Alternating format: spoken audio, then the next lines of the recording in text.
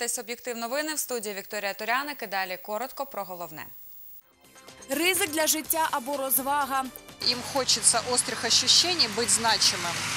А, И тогда они делают что-то, что очень ярко обращает на себя внимание. У Харкові зафільмували покатеньки чергових зачеперів. Реалії доріг Харкова. Вообще-то скользко, я не успела еще подскользнуться, но скользко. Я вижу, что люди, да, подскальзываются. Чи задоволені містяни роботою комунальних служб? Бюджет області, нова фракція та вакуум Олексія Кучера. Ця інформація з усією повагою до заступників, до усіх усіх працівників наших іноді передають, е, не, ну м'яко кажучи, не точно. Як пройшла 22-га сесія Харківської облради?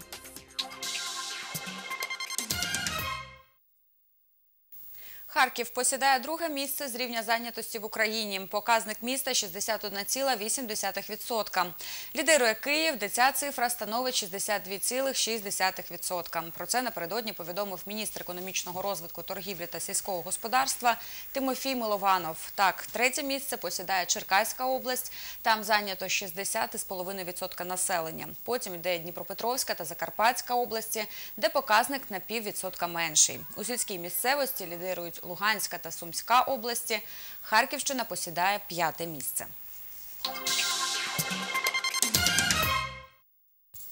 Бюджет області наступного року збільшиться на півмільярда гривень, а місцеві депутати об'єднались у нову фракцію. Ці та багато інших питань депутати обговорили на черговій сесії Харківської облради. Які пріоритети в ухваленій стратегії розвитку? Навіщо депутати звертались до Володимира Зеленського та про яку недостовірну інформацію казав губернатор Олексій Кучер? Знає Артем Листопад.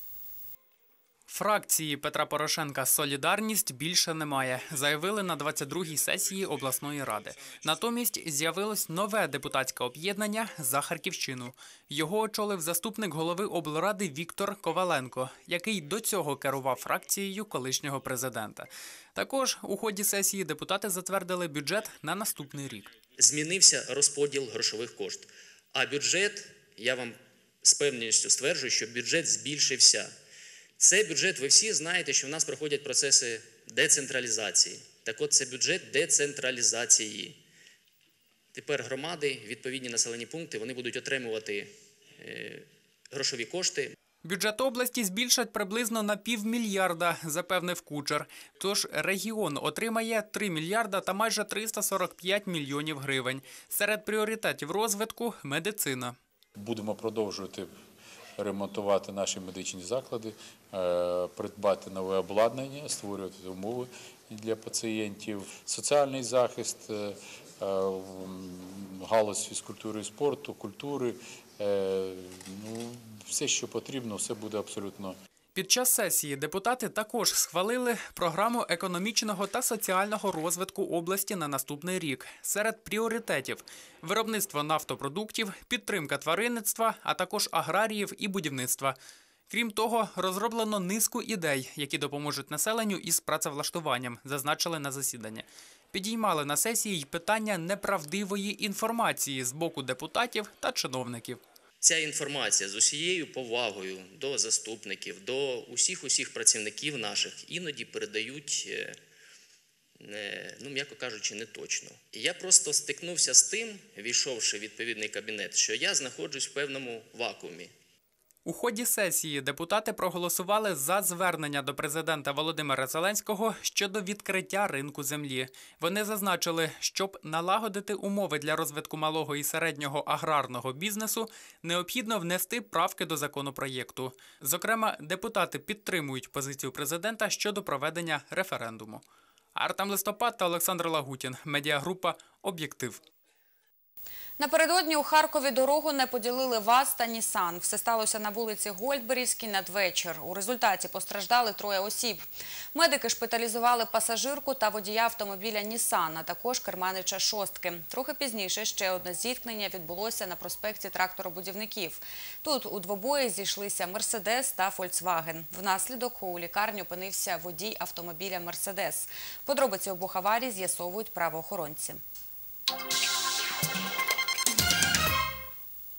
На Харківщині викрили та оштрафували браконьєра, який сітками наловив 150 кілограмів товстолоба.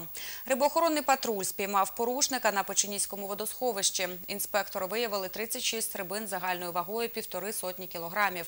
Збитки оцінили у понад 9 тисяч гривень. На рибака патруль склав протокол про адміністративне правопорушення.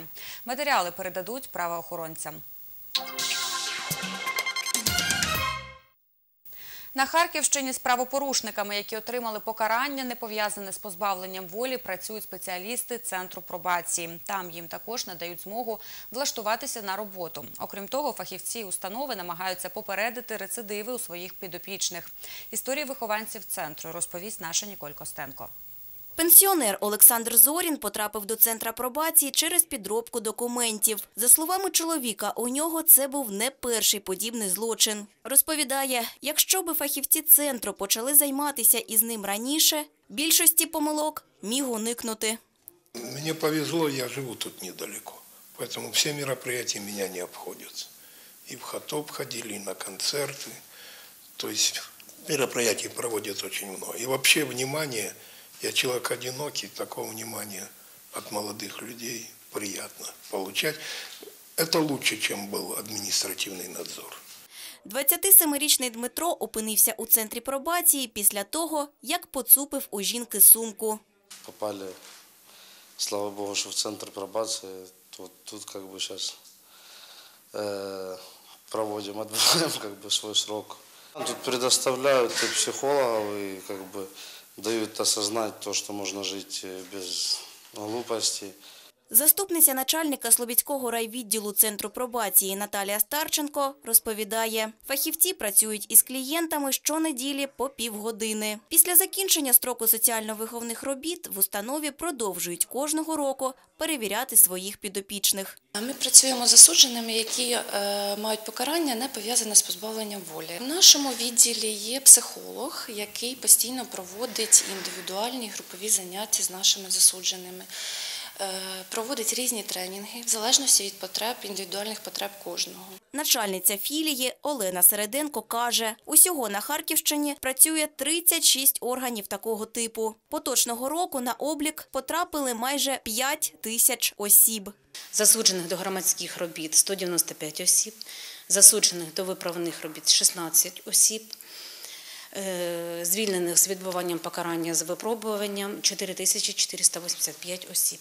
Фахівці центру додають, одне із найголовніших завдань для них – профілактика повторних злочинів у їхніх підопічних. Ніколь Костенко та Олексій Жучков. Медіагрупа «Об'єктив».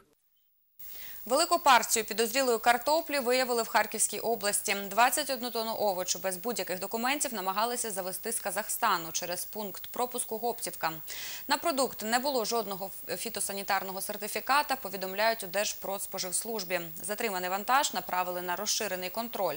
Нагадаємо, наприкінці листопада до Харкова не пустили 20 тонн російської картоплі, яку також намагалися ввести без належних документів. У соціальних мережах з'явилося чергове відео, на якому підлітки їздять зовні тролейбуса вулицею Сумською. Такі розваги екстремали називають зачепінгом. Здебільшого цим займаються групи підлітків. Чи несуть якусь відповідальність за свої дії зачепери та чому неповнолітні ризикують власним життям, розповість Ніколь Костенко.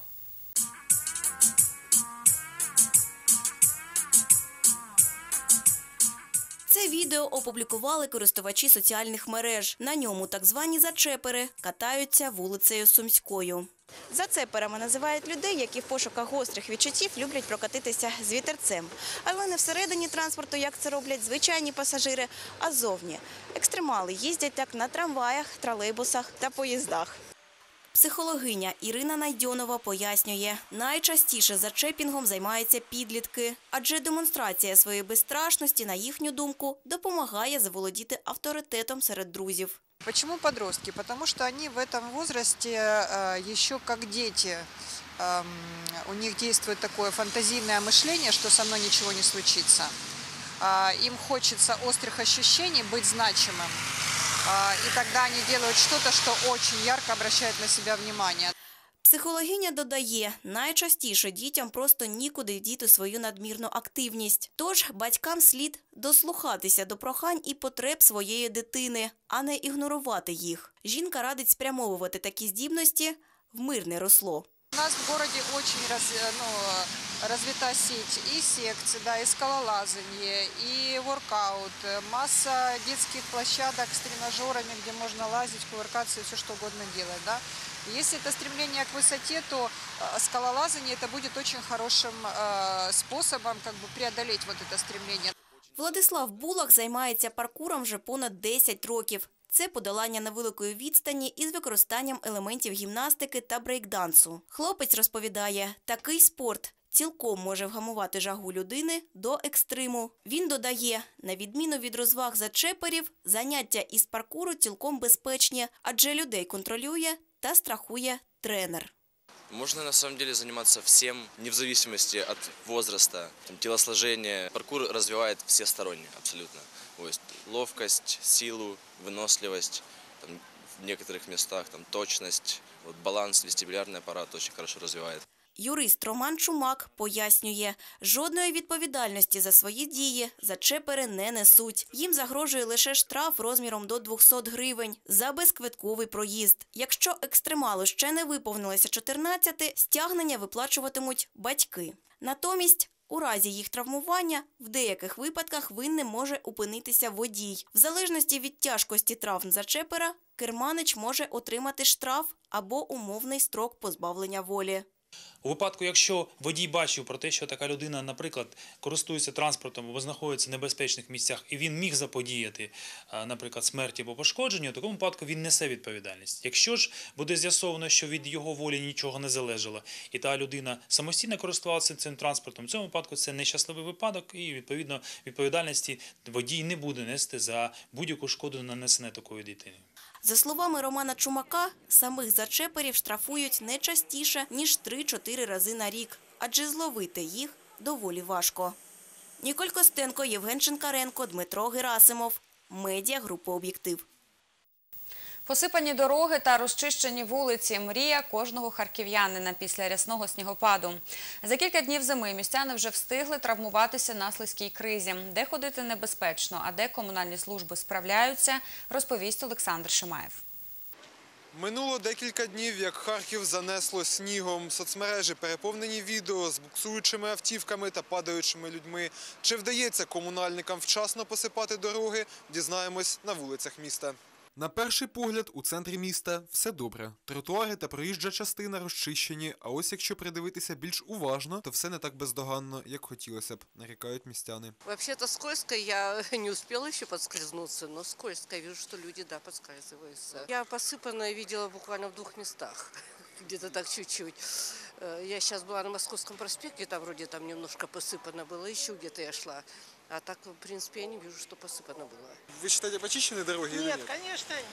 Дороги у Слобідському районі теж далекі від ідеалу, розповідає харків'янка Ніколь. Дівчина нарікає, нещодавно на власні очі вже бачила випадок травмування на кризі. огромные снежные сугробы, через которые приходится пробираться каждое утро, ну, потому что других вариантов нету.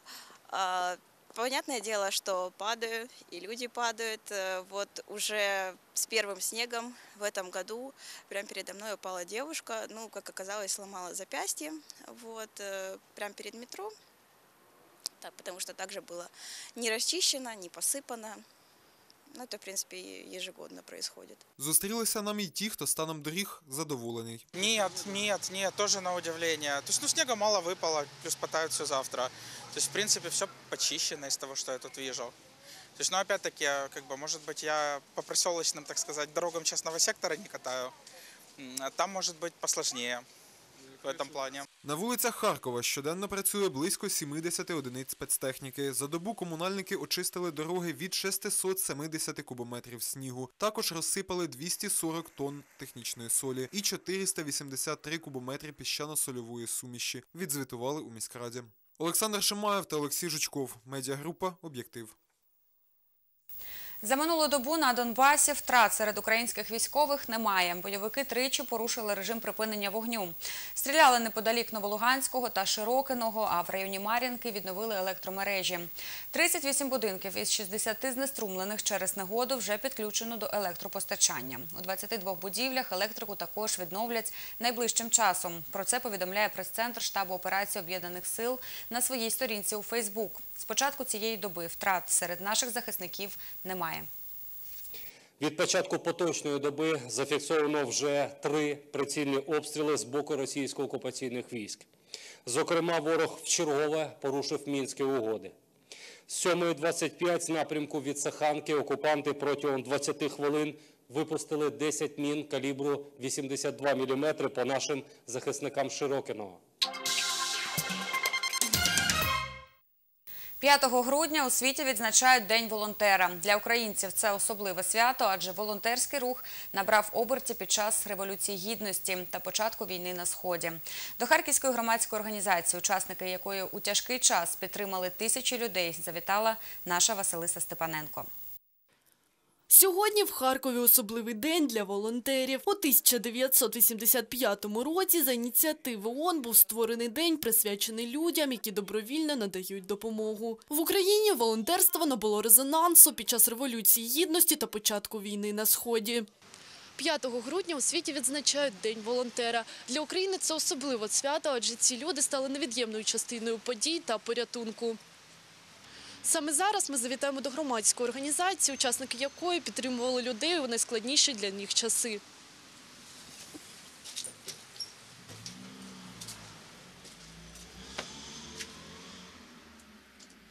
Волонтерська ініціатива «Станція Харків» існує з 2014 року. Створили її небайдужі харків'яни. Тривалий час організація знаходилася у приміщенні Південного вокзалу, де п'ять років тому на перон сходили люди, які тікали з дому від ворожих куль. Ольга Маслік тоді приїхала разом із своєю донькою до Харкова. Волонтери надали допомогу її родині. З того часу жінка теж підтримує переселенців. Кроватки детские были.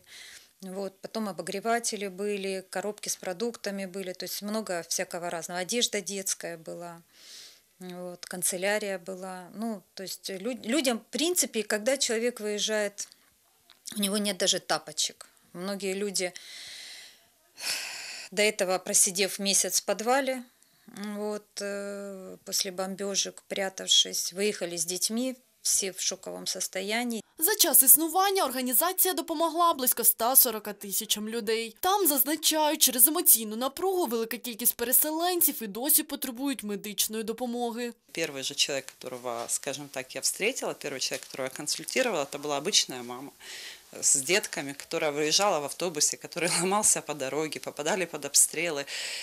Я мать троих детей, я, я сидела и слушала, и понимала, на ее месте ну, могла быть любая мама. Волонтери зазначають, кожна справа і кожна історія унікальна. Часто трапляються такі, що запам'ятовуються на все життя. Сьогодні станція Харків продовжує допомагати людям, які опинилися у складних життєвих обставинах, реалізує нові проєкти та заходи.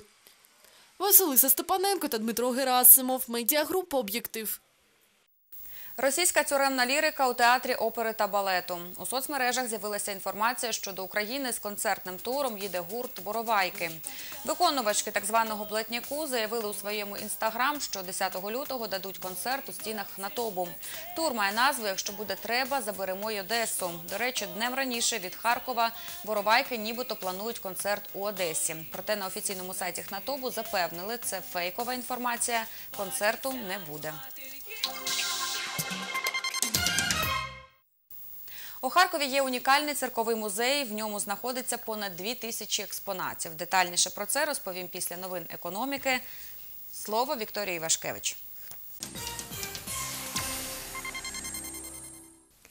Я вас вітаю. Ви дивитеся блок новин економіки. Парламент підтримав фінансову угоду щодо будівництва харківського метро. А пенсіонери регіону мають одні з найвищих виплат в Україні. І детальніше про це. Харків отримає гроші на будівництво метро. Верховна Рада ратифікувала фінансову угоду з Європейським інвестиційним банком щодо подовження третьої лінії підземки. Зазначається, що сума позики 160 мільйонів євро. Передбачено 20 траншів. Загальний період погашення займу 25 років, включаючи пільговий період у 4 роки. При цьому перша дата погашення позики у квітні 2022 року, остання у жовтні 42-го. Харківщина потрапила у топ-7 українських регіонів з найвищими пенсіями. За даними пенсійного фонду, середній розмір виплати в області 3069 гривень.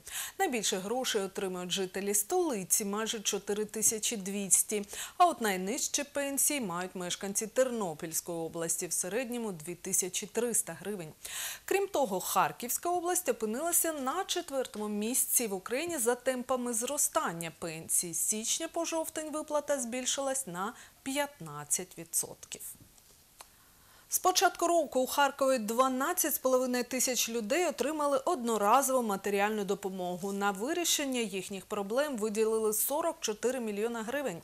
Також, за даними міськради, понад 320 тисяч харків'ян отримали цього року додаткову соціальну фінансову підтримку на житлово-комунальні послуги, послуги зв'язку та пільговий проїзд. Ще близько 83,5 тисяч родин міста отримують субсидію. Нагадаю, що з жовтня виплати надають монетизовані або безготівковій формах. На часі рубрика Об'єктивні ціни в огляді вартість шоколаду на товарі ви можете заощадити більше 6 гривень.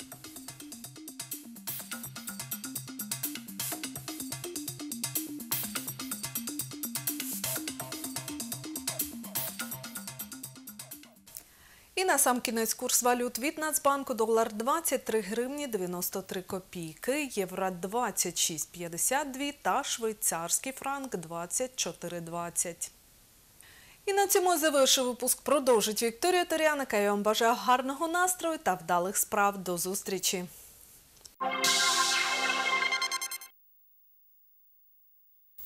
Ви дивитесь об'єктив новини. Ми продовжуємо випуск. Харків'янин зібрав тисячі раритетів для циркового музею. Неймовірна колекція Юрія Соболева налічує понад дві тисячі експонатів. Реквізит, костюми, плакати, афіші та багато іншого. Ці речі можуть побачити харків'яни у будівлі старого цирку. Там побувала і Олена Верикомська. Харків'янин Юрій Соболєв працює в цирку понад 40 років. Він обіймає посаду режисера манежу та ведучого вистав. У чоловіка є хобі збирати циркові предмети, як то реквізит, плакати, костюми, буклети, програмки, афіши та багато іншого. Загалом його колекція налічує понад дві тисячі експонатів. Я пришел в цирк просто, ну, я учился в институте в тот момент заочно, и нужно было где-то работать, подработать. Ну, решил попробовать. И так получилось, что тот, кто приходит в цирк, уже обратно из него уйти очень трудно. Э, Цирк имеет какие-то, наверное, магические свойства. Чоловік каже, збирати циркові предмети почав ще в дитинці після того, як потрапив на першу у своєму житті виставу. З того часу завжди ніс додому квиток або програмку. А коли прийшов працювати у цирк, дитяче захоплення переросло у доросле хобі. Найстаршій у колекції афіші більше ста років. Все плакаты, или большинство плакатов, мне дарили артисты. Ну, естественно, оставляли свои автографы. Вот вы можете увидеть на этом плакате автограф. Этот плакат принадлежал м, э, э, нашему земляку, артисту, харьковскому артисту. Его фамилия была Стефановский, Александр Стефановский. Ну, на манеже тогда было модно псевдонимы, и он выходил под псевдонимом Стефани. Згодом колекція стала займати багато місця, тож більшу її частину Соболів приніс на робоче місце у старий цирк на площі Національної гвардії. Тут же став проводити екскурсії для усіх бажаючих. Потім виникла ідея створити музей. Через деякий час з'явилась його інтернет-версія. Виртуальная в чем заключается? Очень много экспонатов, которые мы не можем развесить и показать людям. Где-то у кого-то что-то тоже находится дома, хранится. У Юрия Борисовича очень э, большое помещение дома, в котором он хранит весь этот раритет. Потому что не позволяет... э, э, климат, да, должен быть определенный свет, определенный климат, чтобы не портились плакаты, которым больше ста лет. Про незвичне захоплення Юрія вже давно знають цирковій спільноті, тож багато артистів поповнюють колекцію Соболєва. В его коллекции есть также плакаты с программ, там, где и мы принимали участие. На самом деле это уникальный человек. Я еще не видела, не встречала э, человека, который так любит цирк. Он знает все. Он так все интересно рассказывает, все эти реквизиты. Он знает, ну не знаю, каждый уголок этого цирка. У колекції Юрія багато унікальних раритетних речей, наприклад, паличка ілюзіоніста Ігоря Кіо та речі, які супроводжують циркового артиста в професійній діяльності. Це саквояж минулого сторіччя. Він з'явився в колекції Юрія Соболєва 30 років тому. В такому кофрі артисти перевозили все своє майно, тому він служив і шафою, і столом, і диваном. Олена Верикомська та Юрій Чорнобук. Медіагрупа «Об'єктив». Повітряні судна «Скайап» літатимуть з Харкова до Києва частіше. Державіаслужба дозволила підвищити кількість перельотів до столиці з 3 до 7 на тиждень. Зміни набудуть чинності з 1 березня 2020 року. Окрім того, Державіаслужба схвалила запит розвітрів на запуск чартерних перевезень з Києва до Харкова. Таким рейсом можна буде скористатися тричі на тиждень. Це всі новини на сьогодні. На сайті Об'єктива завжди є свіжа інформація. Я з вами прощаюсь. До зустрічі і на все добре.